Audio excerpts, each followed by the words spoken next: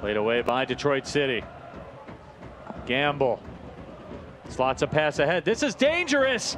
And the goal is finished on the left side. Beautiful cross and perfect execution. Credit to them. They've kept their tails up to the final whistle, and they deserve this.